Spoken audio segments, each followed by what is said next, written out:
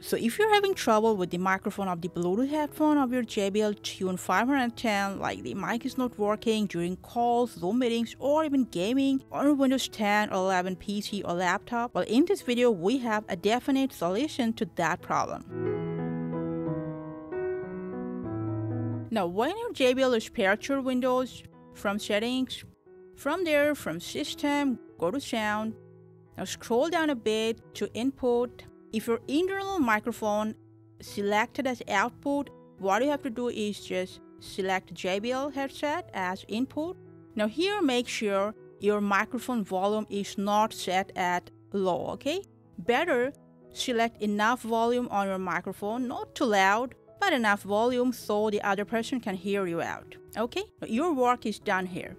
After that, just go to apps. From there to installed apps, now, if there's any app that you've been facing microphone issues, from this three dot menu, if advanced option is available for that app, enter it and make sure microphone is selected for that app. And that's it. Your work is done here. And I'm absolutely sure your JBL 500 Bluetooth headphone microphone problem is solved after that. Please let us know in the comments if that worked for you or not. Thank you for watching and take care.